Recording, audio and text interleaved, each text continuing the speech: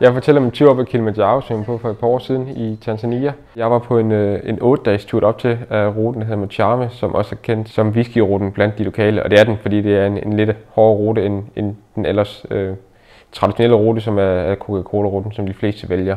Man starter i ca. 35 grader i tropisk klima, og slutter så i ca. minus 10-15 grader. Undervejs deroppe så jeg masser af blev ramt af højdesyge, og jeg mærkede absolut også selv på egen krop ved at have hovedpine, og, og alting foregik i, i meget langsomme bevægelser. Basecamp er det sidste sted, man overnatter, inden man går mod toppen. Det gør man cirka omkring midnat, og går så 7 km op til toppen, som tager cirka 7 timer også. Så klokken 7 om morgenen er man øh, på toppen øh, og ser den fantastiske solopgang over Afrika. Men en, en virkelig, virkelig fantastisk oplevelse og en kæmpe drøm for mig at, at nå toppen.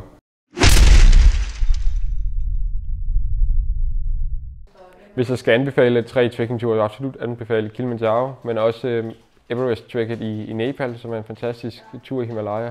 Og ellers, øh, hvis man skal prøve noget helt andet, så er det en, en tur til Vietnam i Sapa-bjergene, øh, hvor det er, er rismarker og en, en helt anden natur.